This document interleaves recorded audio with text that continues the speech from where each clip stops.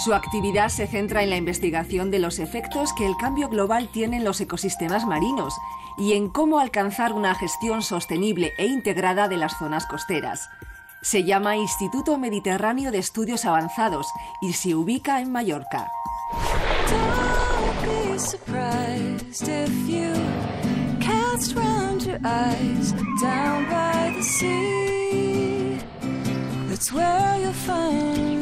El Instituto Mediterráneo de Estudios Avanzados es un instituto mixto entre la Universidad de las Islas Baleares y el Consejo Superior de Investigaciones Científicas. Estamos en la isla de Mallorca, en el bello pueblo de Esporlas, en la Sierra de Tramontana.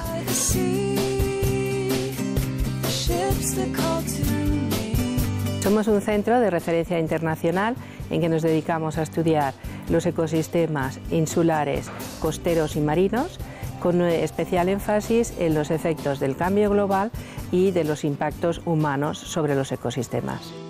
En eh, total eh, tenemos unos 80 proyectos en marcha que son realizados por el personal del instituto, que contando a todo el mundo somos unos 150. Eh, de estas 150 personas estamos organizados en cuatro departamentos, que en nuestro caso los departamentos y las líneas de investigación son las mismas.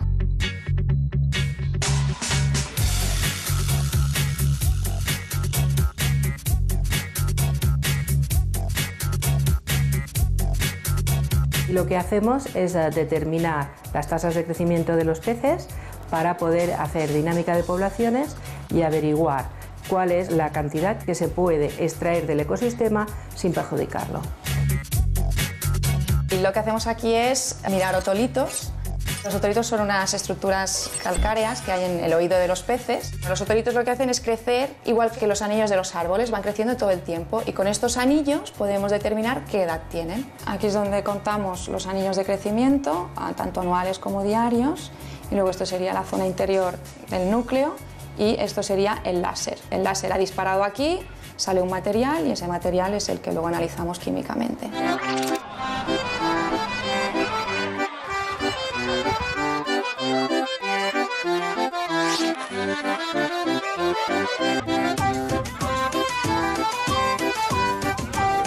En este departamento trabajamos sobre todo con lo que es la parte oceanográfica, el estudio oceanográfico del mar.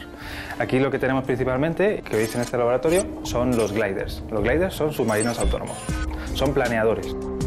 El trabajo que hacen estos gliders es principalmente muestrear el océano. Muestrean principalmente lo que es la densidad del agua, con ese sensor, que es un sensor de conductividad y temperatura y presión, y lo que nos permite es obtener son mapas de densidad del agua. Aparte de eso, lo que tenemos son otros sensores que son más biológicos. En este caso es un sensor de oxígeno y un sensor de fluorometría que estaría aquí debajo. Uno de estos equipos puede hacer muchísimas campañas y además puede estar hasta 30 días debajo del agua. Estamos muestreando lo que es el canal de Mallorca y el canal de Ibiza y estamos teniendo datos en tiempo real con estas plataformas.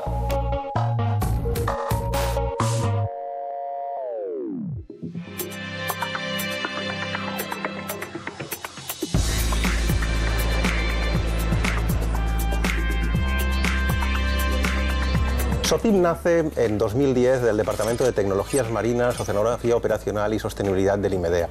Y SOCIP responde a un cambio de paradigma importante en la observación de los océanos.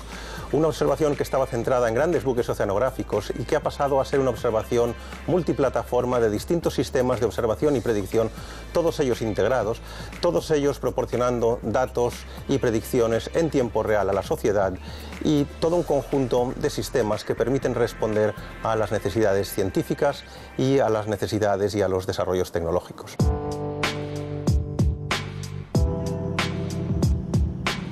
Nos centramos particularmente en el estudio de las causas y consecuencias de los impactos de la actividad humana sobre los procesos fundamentales que regulan el funcionamiento de la biosfera que es a lo que nos referimos como cambio global.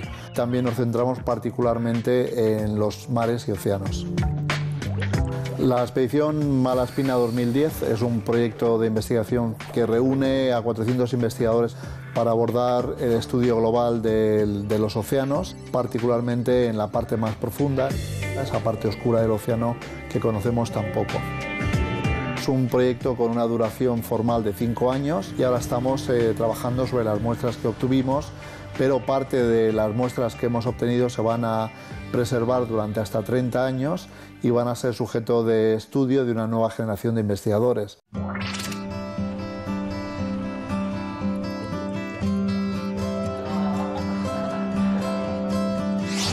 Somos un centro de referencia en la sociedad balear y en el futuro queremos seguir siéndolo y esperamos poder aportar a la sociedad que nos alberga nuestro conocimiento para garantizar un futuro sostenible.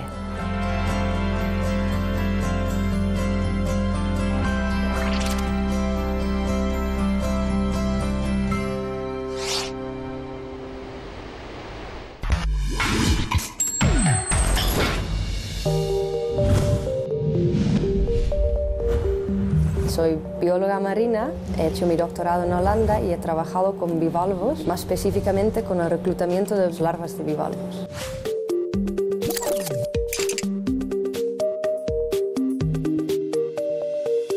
Soy licenciado en Ciencias del Mar por la Universidad de Las Palmas de Gran Canaria y mi puesto aquí es de científico titular.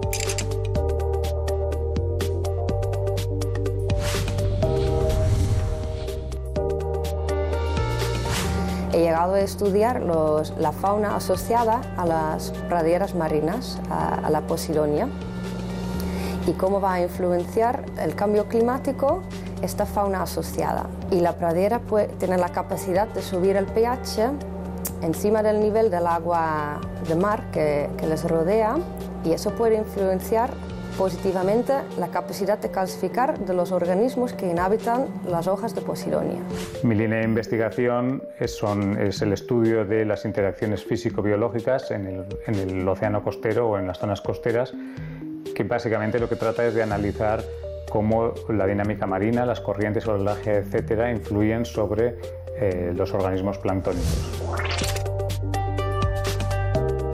Trabajar en, en IMEDEA es que hay un campo estupendo. Si trabajas con praderas de posidonio, es que hay, en- hay muchas praderas de posidonios, de posidonia mm, fácil, accesible. Vine al- a, trabajar en media porque dentro de una serie de proyectos de investigación que se relacionaban con las cuestiones en las que yo estaba interesado, pues hubo la- una oportunidad de, de venir y, y creo que bueno, fue un acierto por mi parte en este sentido.